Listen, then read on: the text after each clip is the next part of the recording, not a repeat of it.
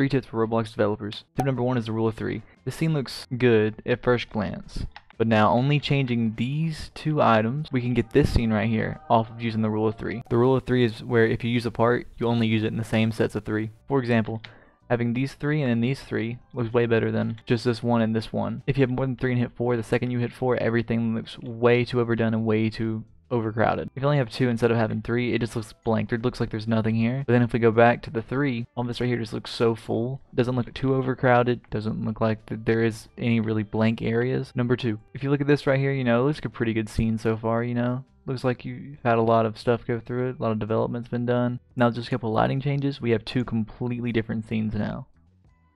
Just comparing before and after, it's just two completely different scenes. Just with a couple of tweaks of the lighting. The third and final tip is to actually read up on color theory when you're making maps. So as you can see right here, you can I'm pretty sure you can guess which one didn't use color theory.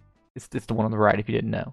So you can see you have this, you know this beautiful piece right here, you know, with the green on brown, you know, straight color palette. Blue with you know, uh, unsaturated blue, straight off color palette, and then you have pink on green, which is an absolute no-no in color theory. Some of this seems like common sense, like you know, blue and white would go together maybe green and orange go together to some people, but some people actually would think, you know, oh, I'm making an alien area. Maybe I need to try pink and green. No, you don't want to do that.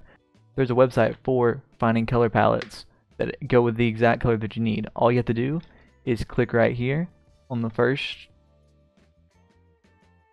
All you gotta do is click on the part that you want the color of, click on the square, copy the HTML code, Control C.